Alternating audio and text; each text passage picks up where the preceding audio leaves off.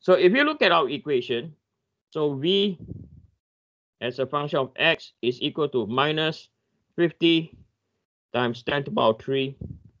Okay, uh, is it x or x squared? Okay, no, 25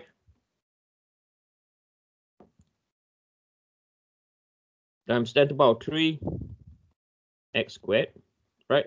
So this case, right, our A will be what? Set face, right? So over here, if we were to sketch, right, if we were to sketch, if this is our X and this is our moment, we know at point A, right, at point A, it'll be equal to zero, right? Because that's our first, uh, first value that we found, right? So if you look at point A over here, our value is equal to what? Zero, right? And then when we go to what's point B, right? It's minus 25. So question for you guys, minus, is it going down uh, this way? Or is it going down this way? Anyone? So so which one? The top curve or the bottom curve? Anyone? Top someone- curve.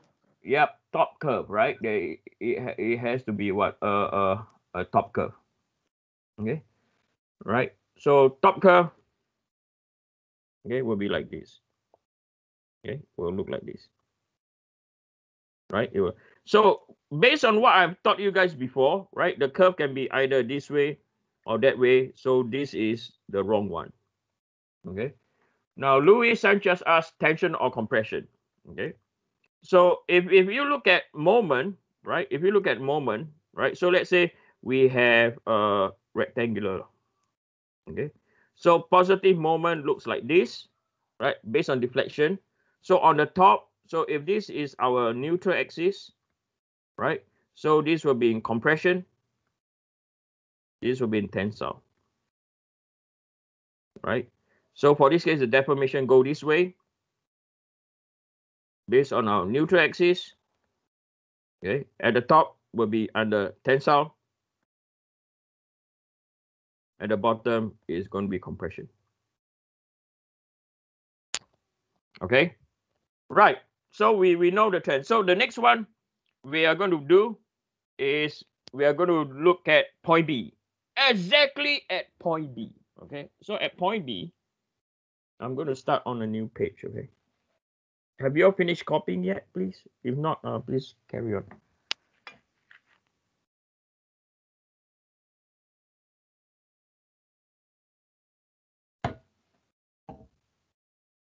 That was for a question before bending moment. That was. Oh, wait. Okay. Yeah, sorry, Louis uh, you, you want to clarify that question that you asked at 10 o'clock? Or can you talk? Or you, you, you are okay?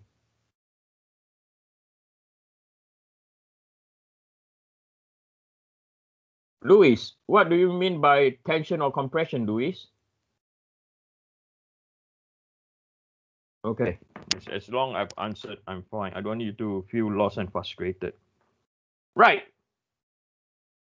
Now I'm going to look into, I'm going to still copy this diagram over here so we know where we are.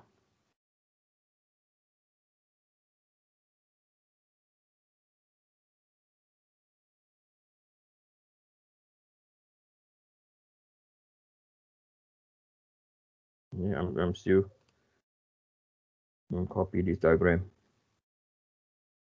We do another two more equations, then we go for a break, okay? Right, so the next point that we're going to do, okay, we are going to look at, let me move this across. We are going to look at point B. Okay, we'll look at point B. So we are going to look at point B at point B where x is equal to 0 0.8 meters. Okay, so we are going to draw this. All right. So now we know, again, datum over here. Now we are very sure that this distance x is equal to 0 0.8, right? So this is at point A, and this is at point B, right? So this is uh, V at point B, moment at point B, right? So we know that this is equal to uh, 50,000 multiplied by 0 0.8. Okay, so now it's not a function of x anymore, it's a constant. So 50 times by 0.8 is equal to 40. And we also know that the distance over here to here is 0 0.4, right? So we, we do uh, static analysis. Here we are going to do uh, static analysis.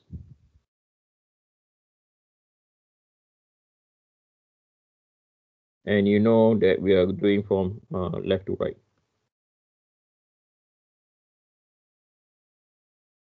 Right. So positive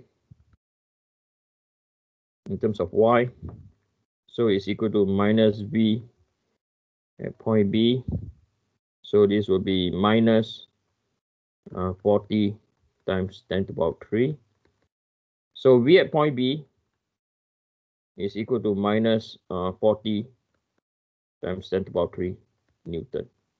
Okay, so this is not an equation, right? This is a a a a, a constant. Oh no no sorry I forget something. Shoot. I forgot something. So what I forgot is this is exactly at point where? at point B. And at point B, we have a reaction. At point B, our reaction is what? Uh, 120. I do apologize, I mixed it up. Right?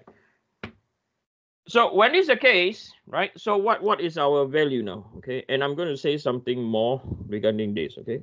So minus 40 times 10 to power 3 plus by 120 times 10 to power 3 and then finally, minus by VB, the whole thing is equal to zero. Okay, so VB is equal to minus 40. So it's 80 times 10 to the power 3 Newton. Okay. Then I'm, I'm going to do moment, then I have a statement to make. Okay. So summation about moment. Z at point B so what it means is we're going to take our moment where the where the dot is. Okay, where the dot is. So when it's the case, we will have what? We will have uh 40 times 10 to power is going to be clockwise, uh, anti-clockwise. So 40 times 10 to power 3 multiplied by 0 0.4 plus by m at point B is equal to 0.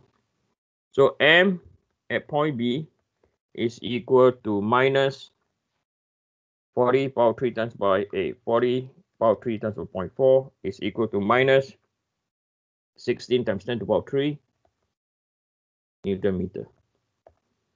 Okay, so we, we, we know, right, uh, our shear force goes to 80 times 10 to power 3 and our bending moment is equal to minus 16 times 10 to power 3. Okay. Uh, and it's a constant. Okay. Now,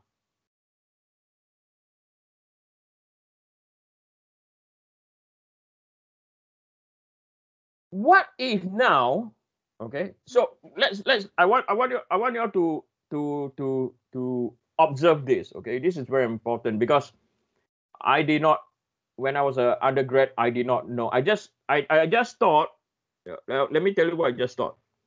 I just thought that we only need to find what is ac bc and cd okay? When i when i was an undergrad i did not realize that we have to find spe- uh, specific location Okay, I did not know that. I did not know that you have to find at point A what is going on, point B what is going on, point C what is going on, point D what is going on. Okay, let, let, let, me, let me elaborate. Okay. Let me use these numbers. Okay, let me use this number. Okay. So now, between A to B, if now we, we substitute X is equal to, so we want to find X is equal to 0 0.8. Right? So our answer will be minus 50 power 3 times by 0.8 is equal to minus 40,000. Right? 40 kilonewton. Right?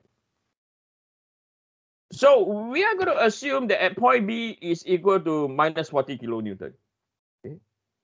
But in fact, it's not. So because we analyze B, right, it's in fact 80.3. So if we ignore point B, I'll tell you what, what is the consequences. Okay, let's say we ignore point B.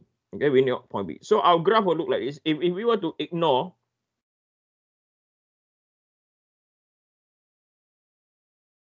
point B. We just look at the range, okay? We just want the equation. We just look at range, range, range, range, range, right? So if you just ignore point B, right? So this is V, so this is 0, and this is your point B, 0 0.4, okay? So the distance from here to here is 0 0.8, all right? So if we were to ignore point B and we just follow our equation, right? So what we get is minus 50 minus 50 power 3 times by 0.8. We will do, we will plot, uh, we will plot here, right? We just draw a straight line. And this is my point B. Okay, so this is the trend, which is not wrong, it's correct. But exactly at point B, as we have calculated, you will have a jump you will have a jump of 80 kilonewton.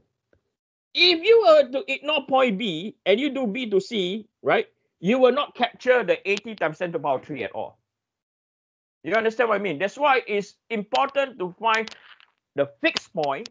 Okay, what is a fixed point? Specific location, whether is there's a reaction. What what what do I mean by by points? How to locate the points? Okay, I'm going to write this out. I realize I did. So how to locate the points?